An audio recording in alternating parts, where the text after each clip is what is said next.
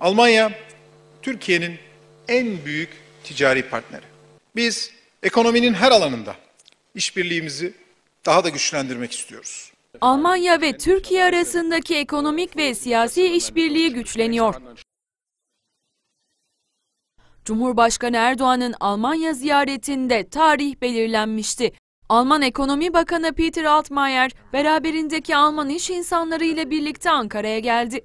Sicherlich im Gespräch mit der Handelsministerin heute Nachmittag Bugün Türkiye'ye gerçekleştirdiğimiz resmi ziyaretin odak noktası, ülkelerimiz arasındaki ekonomik işbirliğinin geliştirilmesiyle birlikte siyasi ilişkileri de kuvvetlendirmek. Ortak Ekonomik ve Ticaret Komitesi'nin birinci dönem toplantısına ev sahipliği yapan Ankara'da gündem yoğundu. Alman Ekonomi Bakanı, Hazine ve Maliye Bakanı Berat Albayrak'la görüşmeden önce Anıtkabir'i ziyaret etti.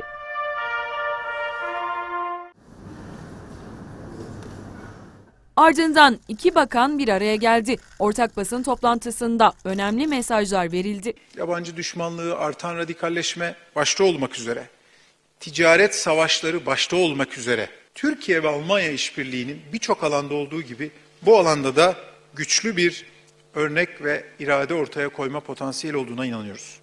dann versuchen, in einem Dialog zwischen der Europäischen Biz bir sinyal vermek istiyoruz. İlişkilerimizin gelişmesini istiyoruz. Ticari ilişkilerin zor zamanlarda da devam etmesinde kararlıyız. Dikkat çekilen en önemli nokta ekonomik işbirliğinin yanı sıra siyasi işbirliğini de güçlendirmek oldu.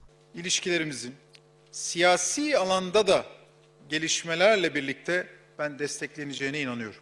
Çok daha güçlü iletişim kanallarının tesis edilmesi için siyasi olarak biz hazırız. Albayrak yarın da devam edecek olan temaslarda kritik açıklamalar yapılacağını belirtti. Çok daha güçlü işbirliklerini anons edeceğimiz bir döneme giriyoruz. Yarın bir kısmı bunların anons edilecek. Açıklamalarda 7500'den fazla Alman şirketinin Türkiye'de yatırımı olduğu ve Almanya'nın Türkiye'nin güçlü bir partneri olmaya devam edeceği vurgulandı.